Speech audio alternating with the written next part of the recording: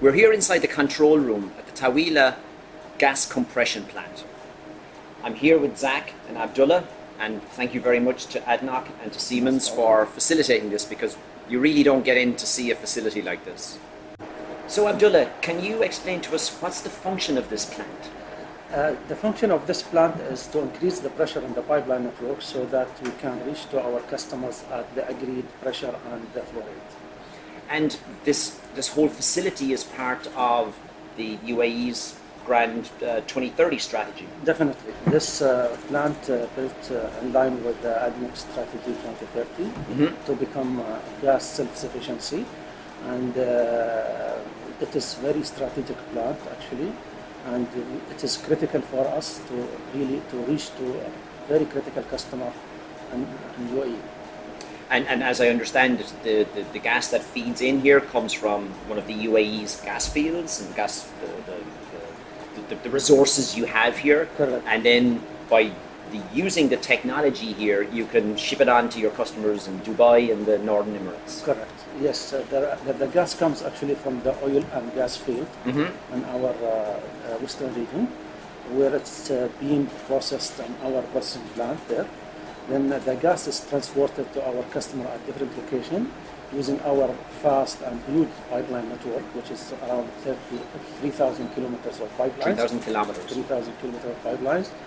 And uh, actually, this plant here to uh, keep the pressure on the network so that we ensure there is no interruption to the gas and to reach to the customer at their boundary limit at the right, the right uh, pressure and the right uh, quantity of gas. And uh, actually, we are at the pipeline division as part of ADNOC Gas Processing. We are responsible to operate and maintain this uh, pipeline network and to ensure the optimum and uh, uh, pressure required on the network is kept always at the required pressure so that we can avoid any interruption to the gas supply to our key customers. And as we we had a tour of the facility earlier. Now, obviously, we were not, as per health and safety and all sorts of uh, health and safety and security reasons, we weren't allowed to take any equipment in there. So we weren't running around with cameras and whatever because we just don't do that. Um, but we'll have some photographs and stuff in the video later to show. But we, we had a tour of the facility in the boss. Um, it's an impressive facility. This place was built in 16 months. That's that's unheard of in terms of pulling one of these things together. How, how did you do that? I mean, it's quite amazing because, in fact, it was joint effort between ADNOC and Siemens, and uh, that joint effort actually resulted in such a state-of-art execution timeline. Um, yeah, a lot of challenging time. Um, we had uh, up to 2,800 people at the, the peak of the construction. On, the, on, on site. Yes, and which is very interesting to, to mention. I mean, I, I always use one factor.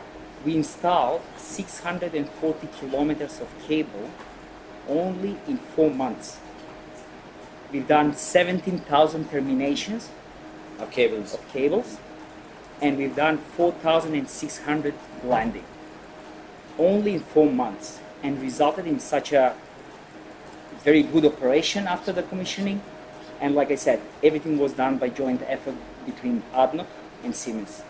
And, and when we were chatting about this a couple of days ago, you were saying that you know in your traditional construction of a facility like this, you get the construction in, you get this, and you get this, and whatever. So it all happens in a nice long time. You guys were doing Correct. stuff in parallel, so they were building something, they were commissioning something else, and so, so it was it was all Yeah, I mean, we, we, we didn't follow the traditional project execution, that for sure. When you have a, such a time uh, constraints, we kind of push the boundaries of uh, changing the sequencing, organizing the work differently like we would do, and that resulted in, in this, what you're seeing here. So, but at the end of the day, it was not uh, normal project execution, and I usually call it was commitment. This is not a project, this is a commitment. Commitment done from Siemens, commitment from ADNOC team to deliver this project within the 16 months.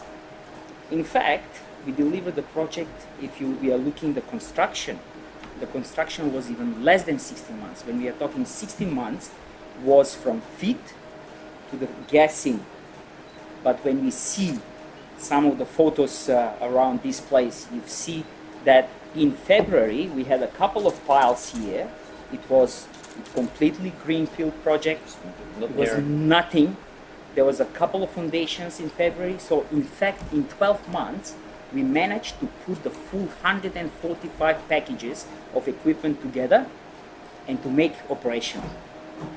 So it was quite impressive achievement from, from everyone. Now, when we had the tour, we saw where the, the gas comes in from your network. We see where it goes into the, the three dry uh, compression trains. There was the utility, there was a substation. There's a lot of technology in this, and it's, it's bleeding out. And we're here in the control center. The entire facility is built to be almost autonomously run. Could be run from here or from somewhere else. So it, this is, if you like, the industrial IoT in action, right? It's everything outside is, is monitored, remote, and controlled. Um, but what, what kind of technologies are involved in? For some people watching us wouldn't be aware of what's a, you- you explained about increasing the, the pressure in the in the gas network. So basically, the gas compression is just simply you're raising the the, the bars of the gas, correct? Yes. And what kind of technology is used to? How do you how do you raise the gas compression? Just very simple. We have a three compressor trains, and each compressor train has a set of equipment, and the main is the centrifugal uh, Siemens Dresser-Rand the centrifugal Datum compressor, Okay, uh, driven by electrical motor. okay, And for each electrical motor, we have a, uh dedicated VFD, variable Ah, okay. frequency drive. The feed of the electricity is coming from 33 kV substation. That- that's the one we saw on we site. saw. And uh, and the gas, of course, is compressed by centrifugal force. And uh, but it's not only the compressor, and this is the, the interesting part. Is a much complex uh, technology here involved. We are talking about we have the uh, pressure control valves, we have uh, we have a suction knockout drum where you have a filtration of the gas that is coming in you before it goes to driving around, correct. Then, if we are talking, we have the utilities, which we have air compressor, uh, uh, air compressor, and also we have the nitrogen yes, where we have also fuel and also we have the chemical injection.